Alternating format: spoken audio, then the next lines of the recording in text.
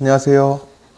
건축 토목 구조 기술사 대비 역학 기초 과정에 대해서 말씀드리겠습니다. 어.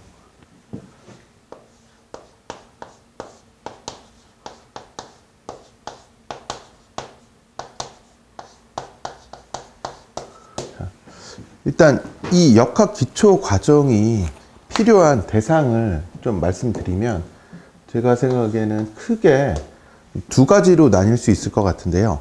어, 첫 번째로는 어떤 시작을 해보려고 하는데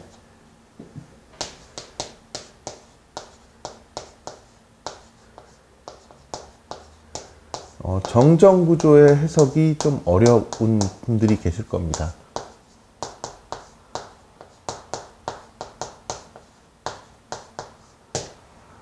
내가 구조기술사 공부를 이제 시작을 좀 해보려고 하는데 정정구조 수준의 해석이 어려운 분들이 계실 거고요.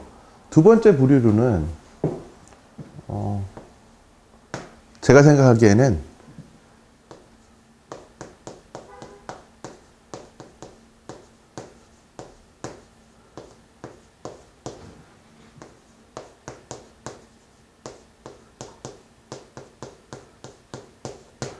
답안 정리가 안 되는 분들이 계실 겁니다. 이 얘기가 무슨 얘기냐 하면 뭐 어찌어찌 해서 부정정 구조 해석을 해서 반력을 구했는데 이 해석한 결과를 가지고 답안을 정리를 하려고 하는데 내가 무슨 이유에서인지 답안 정리가 안 된다. 이런 분들은 어떻게 보면 어좀 기초가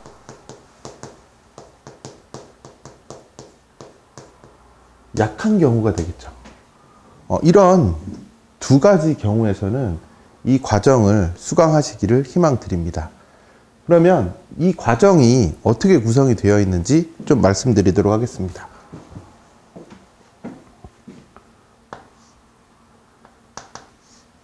어, 첫 번째로는 어,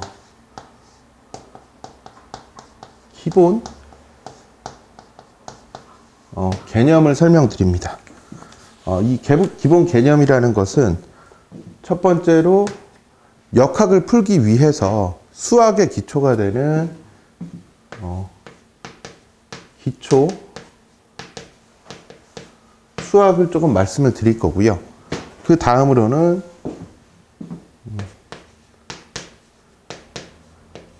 구조역학을 계산하기 위한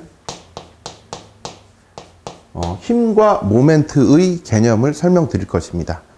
그리고 그 다음은 어, 힘을 받았을 때 발생하는 지점의 반력을 계산하기 위해서 어, 지점의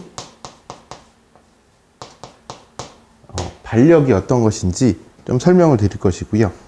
그리고 역학을 풀기 위한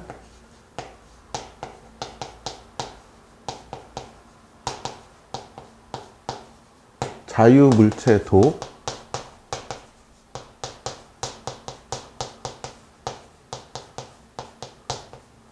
평형 방정식의 개념을 설명드릴 것입니다.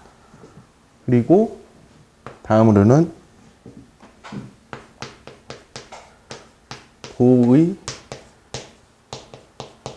응력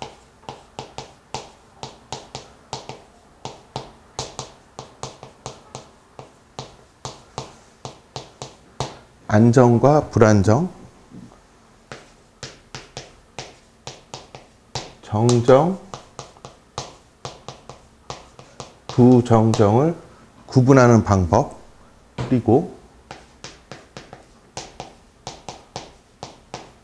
선형 탄성의 범위 내에서 적용할 수 있는 어, 중첩의 원리, 이 정도를 설명해 드리면 될 것 같습니다.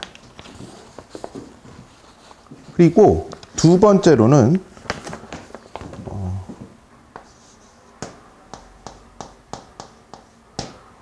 부재 축에 수직인 하중을 받는 보에 대해서 말씀을 드릴 건데요.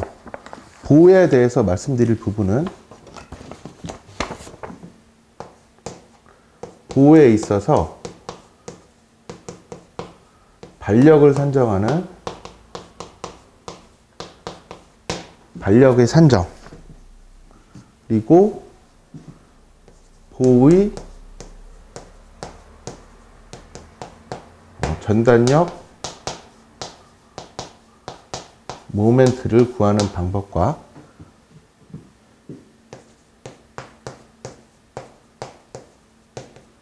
전단력 선도 모멘트 어, 선도를 그리는 방법을 말씀드리겠습니다.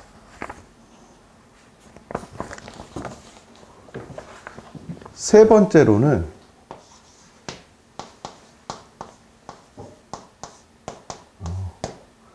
어, 부재들이 삼각형의 모양으로 결합하여 충력을 받는 트러스에 대해서 말씀을 드릴 건데요. 어, 여기 트러스에서는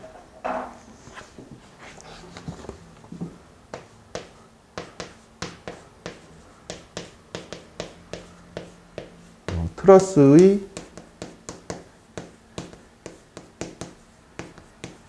기본 사항에 대해서 먼저 설명을 드리고요. 트러스에 있어서 정정과 부정정을 어떻게 판별할 수 있는지에 대해서 설명을 드리고 다음에는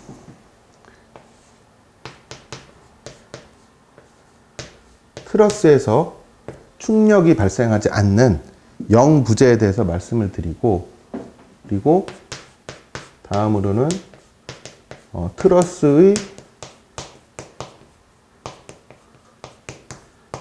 해석 방법을 설명드린 후 이 방법에 의해서 실제 트러스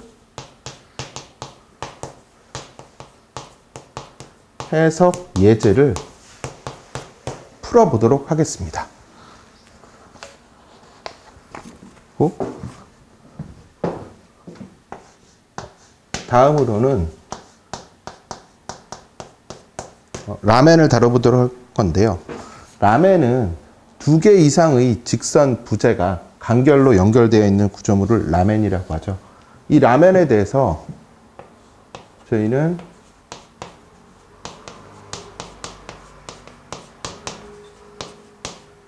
라멘의 일반 사항 그리고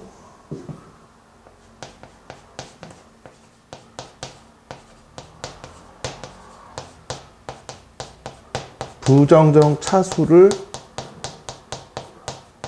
어떻게 판별하는지 그리고 이 라멘은 어떻게 해석을 하는지 해석 방법을 설명드리고 실제 예제를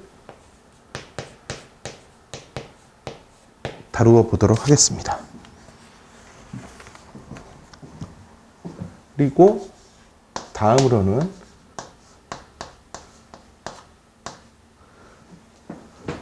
부재에 발생하는 수평 반력이 휨 모멘트를 감소시키는 아치 구조에 대해서 다뤄보려고 하는데요. 아치에 대해서는 역시 아치의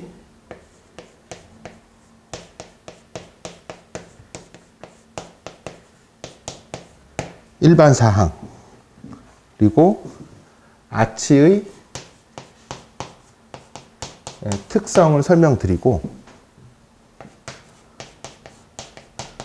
해석하는 방법을 설명드린 후 실제 해석 예제를 풀어보도록 하겠습니다. 그리고 마지막으로 역학에서 사용되는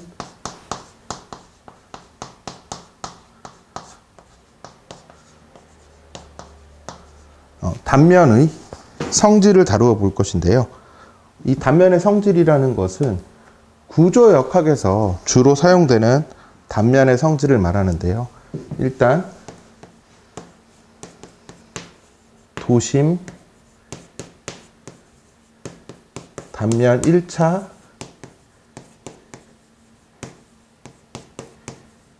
2차 어, 모멘트를 다루고요. 어, 회전 반경이 무엇인지 설명을 드리고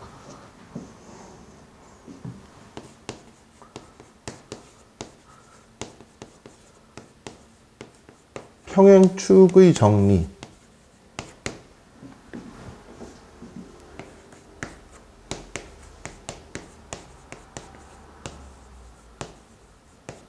극관성 모멘트 그리고 실제로 단면 성질의